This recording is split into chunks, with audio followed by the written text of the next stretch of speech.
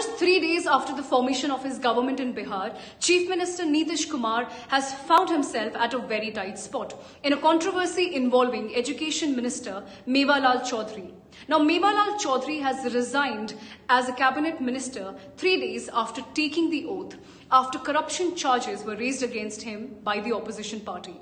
Now, Rashtriya Janata Dal has flagged a three-year-old corruption case against Choudhary and has questioned the government as to how he was still inducted.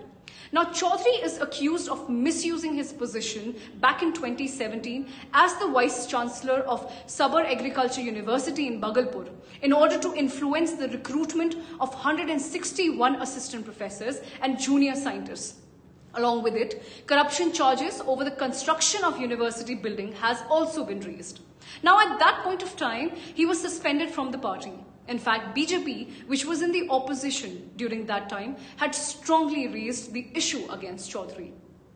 President Ramnath Kovind, during his tenure as the governor of Bihar, had initiated a probe against Choudhary. Well, the charges of corruption leveled against him were later found to be true. However, no charge sheet was filed. Now, the opposition party has lashed out at the NDA government for having tainted leaders as a cabinet minister. Now, RJD's Tejashwi Yadav exclusively in a series of tweets accused Nitish Kumar of granting exemption to loot and robbery by keeping people like Choudhary in the cabinet.